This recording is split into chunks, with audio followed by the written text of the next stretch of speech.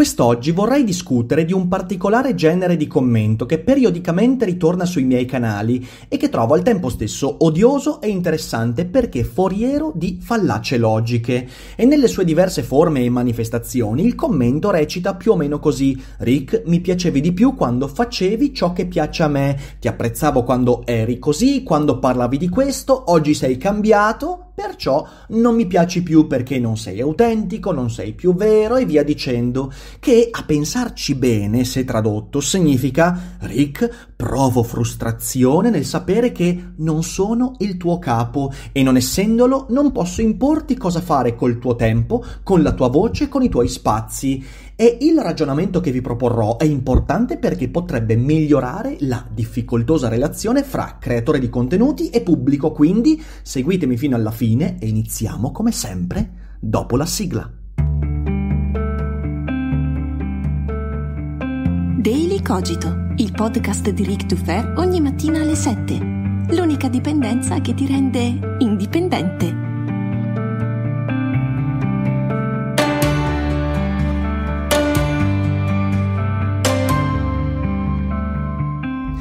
Allora, allora, premettiamo che nel 99% dei casi, quando mi arriva un commento di quel tipo, io lo ignoro. Infatti è palesemente inutile perdere tempo con chi mal sopporta l'evidenza secondo la quale, sui miei spazi, col mio tempo e le mie energie, io faccio quello che mi pare. Poi c'è uno 0,9% dei casi in cui rispondo ironicamente dicendo Ah sì, vuoi commissionarmi dei contenuti? Bene, ti mando un preventivo. Di solito chi lascia quel commento non prende bene questa risposta, che però sarebbe l'unica ragionevole.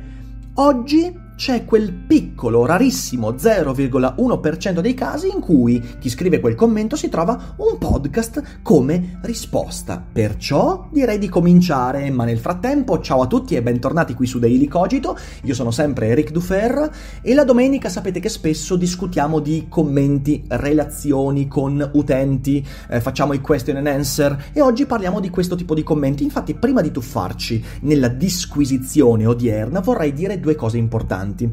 La prima è che, lo sapete, capita raramente, ma come venerdì è successo, capita altre volte, Daily Cogito può mancare. Ora, venerdì mattina ho ricevuto decine e decine di messaggi di gente impanicata che mi diceva Rick, Spotify è rotto, Apple Podcast non aggiorna vi do un consiglio. Venerdì non ho potuto registrare, anzi giovedì non ho potuto registrare perché avevo un evento, mi è andato via tanto tempo e quindi venerdì è saltato. Io però avviso sempre con più o meno anticipo su Instagram e sul canale Telegram. Vi consiglio di iscrivervi a uno dei due luoghi perché io li avviso sempre, così non andate in panico. C'è stata una persona che mi ha detto Rick, ero in macchina quando ho acceso Spotify, ho sbandato senza trovare dei licogito. Spero fosse un'esagerazione, ma per evitare di fare incidenti e poi a accollarmi la colpa del fatto che non ho fatto uscire la puntata, seguitemi su Telegram e su Instagram, ok? Ok. Seconda cosa, mi stupisco che a più di un mese di distanza dal momento in cui ho chiuso i commenti sotto al canale YouTube di Daily Cogito, la gente ancora mi scrive dicendo Rick, io rivoglio i commenti sotto YouTube. La risposta è no. Ho già spiegato varie volte perché ho chiuso i commenti, ma repetita Juvent, forse, non è detto. Io ho chiuso i commenti di YouTube per tanti motivi. Primo su tutti, non vedo perché gli, ascoltato- gli, ascoltatori di Spotify, Google Podcast, Apple Podcast, che sono la stragrande maggioranza degli ascoltatori di Daily Cogito, dovrebbero non poter commentare quando invece su YouTube si può. Quindi abbiamo uniformato le possibilità per il pubblico. Ciò non significa che io abbia chiuso la bocca ai commenti, perché io oggi ricevo ancora più commenti di prima, solo che sono sui vari social network, c'è chi mi scrive su Twitter, chi su Facebook, chi via mail, sappiate che vi leggo tutti e guarda caso da quando ho chiuso i commenti di YouTube i commenti che ricevo sono più attenti, più di qualità, sono molto molto migliori. E questo conferma il fatto che i commenti sotto YouTube erano in buona parte una cloaca in cui la gente senza ascoltare, potendo restare sulla stessa pagina, spegnendo il cervello e non sentendo più ragionamento a metà podcast, iniziava a scrivere commenti dicendo stronzate. E per questo vi dico che resteranno chiusi perché ha migliorato il mio rapporto con la community con cui comunque ho sempre grande interazione. Se poi qualcuno vuole partecipare veramente a fondo nella community c'è il gruppo Patreon, ok? Quindi fatelo, eh, potete anche sostenere il mio lavoro in quel modo lì ed è un ottimo modo per dialogare in modo fecondo eh, nella community.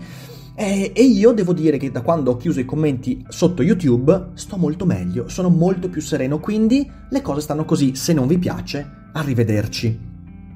Adesso direi di tornare a noi. Che ne dite? Che ne dite? Sì, direi che è giunto il momento. Dicevamo, il commento secondo cui Rick mi piacevi di più quando facevi ciò che piace a me, eh? è un commento particolarmente presente che torna periodicamente. E io voglio dire prima di tutto una cosa. Caro utente, non vale la pena di lasciarmelo. Se spendi tempo a scrivermi quella roba, è altamente improbabile che tu riceva risposta, però oggi mi sento generoso. Quindi cerchiamo di chiederci perché quel commento non ha senso dobbiamo mettere qualche presupposto prima di tutto. Ok, saranno presupposti che ci permetteranno di migliorare la nostra relazione. Quindi, primo presupposto, rullo di tamburi, io sono cambiato, cambio e cambierò. Vedete, in sei anni di attività sul web ho sperimentato 10.000 cose diverse. Green screen, video, montaggio, Snapchat, podcast, gaming, satira, live, veramente una montagna di roba e ne sperimenterò un'altra montagna. Di queste 10.000 cose, fidatevi, soltanto 4 o 5 sono rimaste perché la sperimentazione è un campo di gioco darwiniano in cui le cose migliori poi sopravvivono e le cose che non hanno a che fare con me o con l'ambiente circostante vengono eliminate, ok? Quindi poche di quelle 10.000 sono rimaste e nella sperimentazione io ho capito molte più cose su di me, sul web, sulla community e quindi sono cambiato. Cosa vuol dire questo? Beh che nel tempo ho modificato la forma e il contenuto prima di tutto al fine di migliorarmi, cioè nel senso io eh, sono sempre in competizione con me stesso, guardo i video, sento i podcast di mesi fa e dico cosa posso fare per renderli migliori dal punto di vista formale e contenutistico e ci provo sempre, a volte facendo giusto, altre volte sbagliando, ma sono sempre volto a quel cambiamento. Eh, in gran parte perché non so stare fermo, infatti io ho una grande invidia per i miei colleghi che da 5, 7, 10 anni fanno sempre la stessa roba con lo stesso tipo di forma, strumentazione, è incredibile, incredibile. Io non riesco neanche a fare la stessa cosa per sei giorni, chi lo fa per anni e anni ha la mia invidia. Però io non sono fatto così. Nel frattempo io sono cambiato perché ho modificato i miei obiettivi, misurando i risultati e anche acquisendo nuovi metodi di misurazione dei risultati.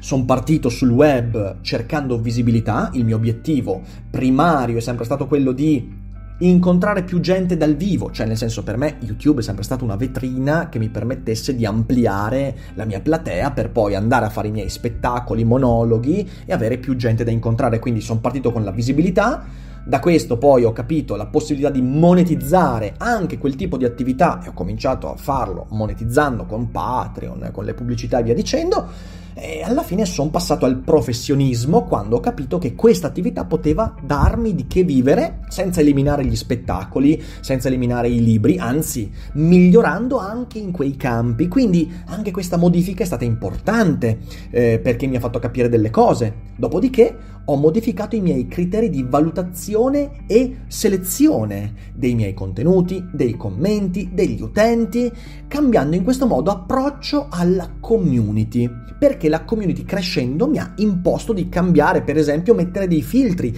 Patreon e i gruppi legati a Patreon, oppure Twitch e la chat di Discord di Twitch e tanti altri modi per crearmi filtri hanno permesso a me di conoscere meglio la community, avendo a che fare con un minor numero di persone, perché ad oggi il progetto fra podcast, canale YouTube viene seguito da molte più di 100.000 persone, quindi capite, non si può avere una relazione con 100.000 persone. Quando avevo 3.000 persone eh, come pubblico riuscivo a mantenere più rapporto con più o meno tutti, oggi è impossibile, e quindi ho creato dei filtri. Tutte queste cose hanno portato al mio personale cambiamento e in futuro continueranno a cambiare. E questo è il primo presupposto. Il secondo presupposto è che tu sei cambiato o tu sei cambiata. In primo luogo, hai iniziato a seguirmi al liceo e ora ti stai laureando. Magari sono passati tre anni, quattro anni, sei anni. Quante cose sono cambiate in questi anni? Sono cambiate più o meno tutte le cose che sono cambiate per me. Certo, magari non nel campo web, in altre cose, ma sei cambiato o cambiata tantissimo. Hai cambiato idee, obiettivi, opinioni e desideri. Sei diventato una persona diversa ed è normalissimo e ci mancherebbe che non fosse così. A questo devi aggiungere un fatto, che io non ti ho mai conosciuto e tu invece pensi di aver conosciuto me. E invece no, non mi hai conosciuto, perché l'immagine che ti sei fatto di me è solo quella derivante da una piccola porzione della mia personalità, del mio modo di parlare, di pensare, delle mie idee e via dicendo. Già questi due cambiamenti intersecandosi creano un casino, ma poi c'è un terzo presupposto. La community è cambiata, cioè la comunità di persone che stanno eh, in, intorno ai miei progetti, che è fatta in larghissima parte da utenti casual, cioè persone che magari arrivano, vedono un video, si iscrivono e poi non mi ascoltano più, eh, o mi ascoltano una volta al mese, persone che eh, si appassionano per 10 puntate del podcast e poi passano ad altro, eh, è normalissimo, quindi questa community è cambiata radicalmente, non solo cresciuta, ma proprio cambiata anche in relazione ai due cambiamenti di cui ho citato che ho citato prima, il cambiamento mio e il cambiamento delle persone che sono all'interno di quella community. Si è ingrandita e mi ha dato la necessità di creare dei filtri e questo ha cambiato il mio approccio alla community e quindi capite che questo è un interscambio continuo. Quarto presupposto? tutto intorno è cambiato, il mondo è cambiato, il modo con cui le persone al di fuori di, di, quella community si relazionano nei social network, ai contenuti, i ritmi dei video, i criteri di selezione, i contenuti proposti, tutto quanto è cambiato. Ecco, dopo queste quattro capitanovviate, eh, cerchiamo di andare al sodo. E lo so, eh, non dovrebbe essere necessario eh, specificare le cose che ho specificato, ma in realtà, come vedrete, sì. Adesso andiamo al sodo. Il commento una volta eri più autentico, mi piacevi di più prima quando parlavi di queste cose, quando avevi il cappello lungo, quando ti vestivi così, quando... eh? È una lamentela inutile che tiene in sé tre enormi fallacce che cercheremo di risolvere insieme quest'oggi. Prima fallacia. Ciò che tu in passato hai pensato di capire di me è la verità e l'autenticità.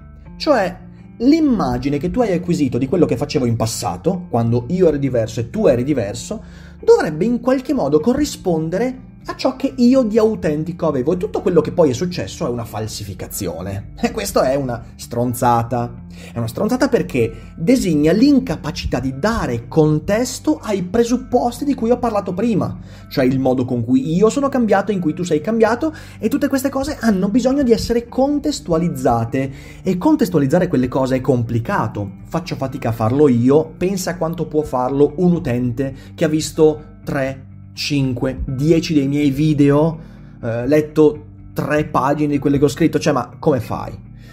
C'è un secondo aspetto problematico di questa, di, di questa, fallacia ed è la nostalgia di cose forse mai esistite. Perché dico mai esistite? Perché, io di questo sono perfettamente consapevole, l'idealizzazione che molte persone fanno di me, ma non solo di me, di Gio Pizzi, di Uesa, di Adrian, di tutti quanti, l'idealizzazione che deriva da una scarsa conoscenza, ma un presupposto di invece grande competenza in quelle cose, ci porta a creare una nostalgia fittizia per il passato. Noi siamo creature biologicamente costruite per provare nostalgia per il passato perché il passato è un luogo sicuro che non cambia. Ecco allora che quella nostalgia diventa un sentimento che ci mette al sicuro, ma quell'immagine l'hai prodotta tu ed è probabile che io non abbia neanche mai voluto trasmettertela. Può non essere, essere così certo, ma c'è la possibilità, e quel tuo giudizio deve essere vagliato sotto quella possibilità. E infine c'è la noncuranza di chiedere a me se sto meglio oggi rispetto a ieri. Vedi il punto 2, ok? Quello con tutti i cambiamenti e via dicendo, e anche il prossimo punto. Ecco, mi piacerebbe che ogni tanto qualcuno di questi utenti mi dicesse, Rick, ma stai meglio oggi con quello che fai o stavi meglio ieri? Sapete qual è la risposta? La risposta è che io sono orgoglioso e molto soddisfatto del percorso fatto, lo osservo sempre autocriticamente e oggi sto molto meglio rispetto al passato per mille motivi, perché capisco meglio quello che succede, perché sono più padrone di quello che faccio, perché ci vivo di quello che faccio e quindi tutto questo è molto molto importante. E quindi arriviamo al secondo tipo di fallacia intrinseca a quel commento, il bias del successo e del distacco.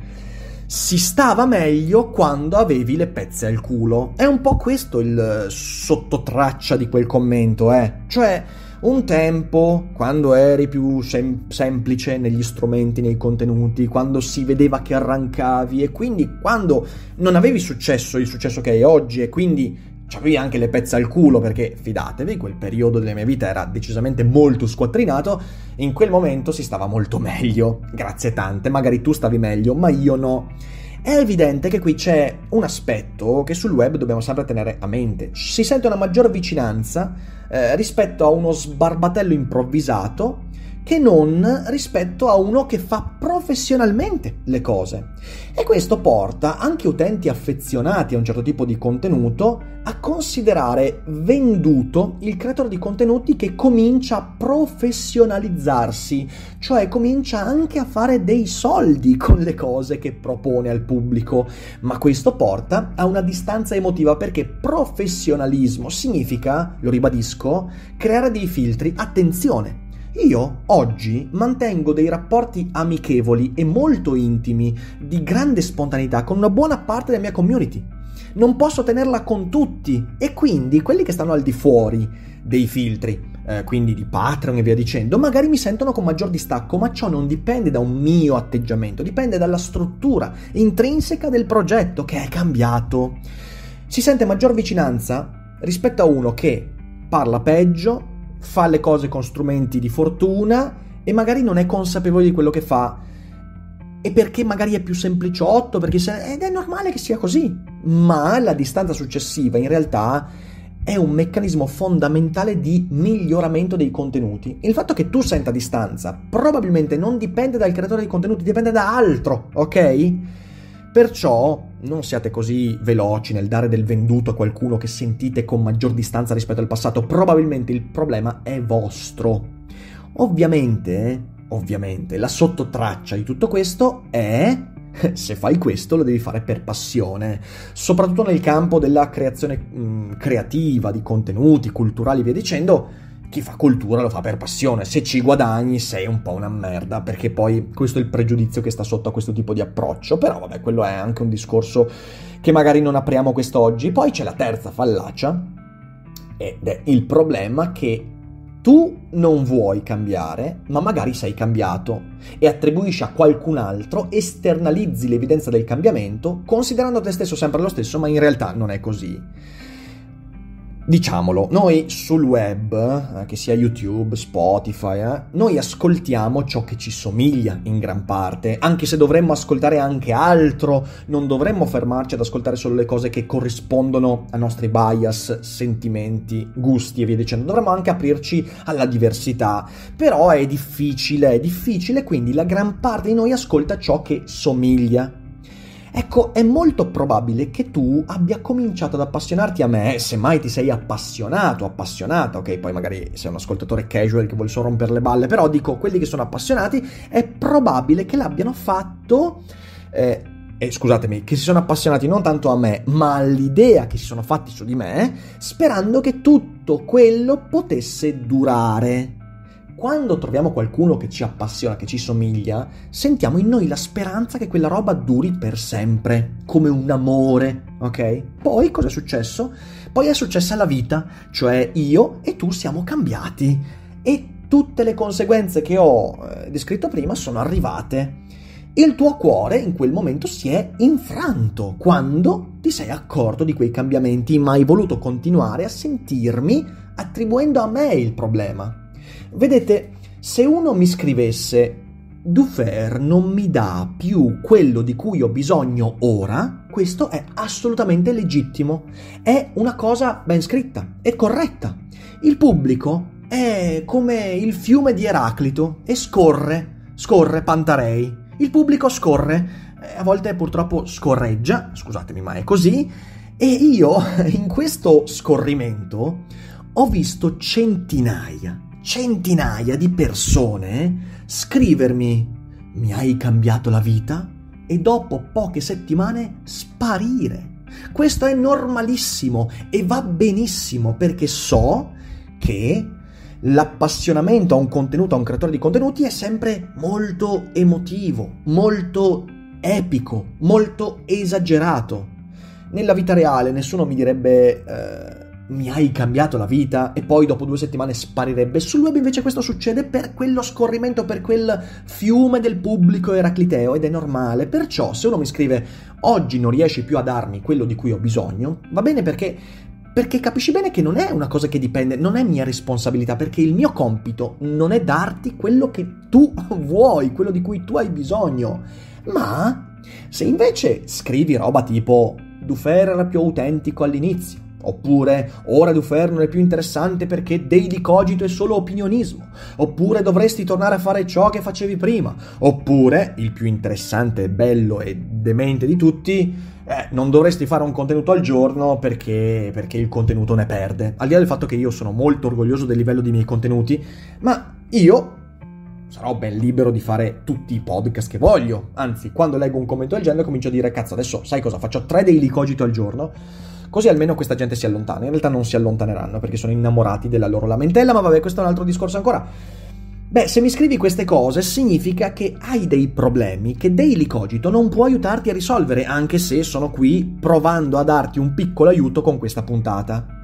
Perciò vorrei concludere ricordandoti una cosa veramente, veramente importante che migliorerà la tua relazione anche con gli altri creatori di contenuti. Ricorda, perciò, tu che oggi ami il mio lavoro, domani potresti non amarlo più, ma è altamente probabile che ciò non dipenda da me. Io cercherò sempre di seguire, eh, nel migliore dei modi, la mia curiosità, esprimendo le mie analisi con la maggior chiarezza possibile e nel modo più onesto. E domani cambierò, così come tu cambierai, Quel che spero è di lasciarti una mia traccia, lasciarti qualcosa che consapevolmente o meno ti faccia crescere, ti dia qualche strumento utile che poi porterai nella tua vita anche quando ti dimenticherai di aver seguito Daily Cogito, il mio canale, il mio progetto e via dicendo. Va benissimo continuerò a chiedere feedback e discutere con quella parte di community che dialoga con me attraverso i filtri che necessariamente ho predisposto perché è impossibile interloquire con l'intera community.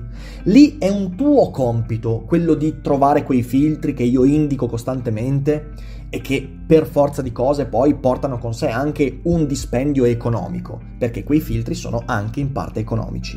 Sei tu che devi cercarli e anche magari con la volontà di sostenere il mio lavoro, entrare in quella parte di community dove io ricerco direttamente feedback. Ma, lo ribadisco, sii più consapevole del cambiamento reciproco che ci colpisce e ci tiene insieme in questo luogo strano che si chiama web e che non è poi tanto diverso dalla vita normale. Spero di aver portato qualche ragionamento utile. Io so che riceverò ancora sempre e comunque quel tipo di commento, ma stavolta avrò questo podcast da linkare. Ecco, sappiate che io questa puntata l'ho fatta con un intento egoistico. Quando riceverò quel commento lì, mi piacevi di più quando avevi i capelli lunghi. io ora linkerò questo podcast e verrà ascoltato e magari rischiarerà la nebbia mentale di qualche persona. Grazie per avermi ascoltato, io vi abbraccio tutti, noi ci risentiamo domani e come sempre non dimenticate che non è tutto noia ciò che pensa.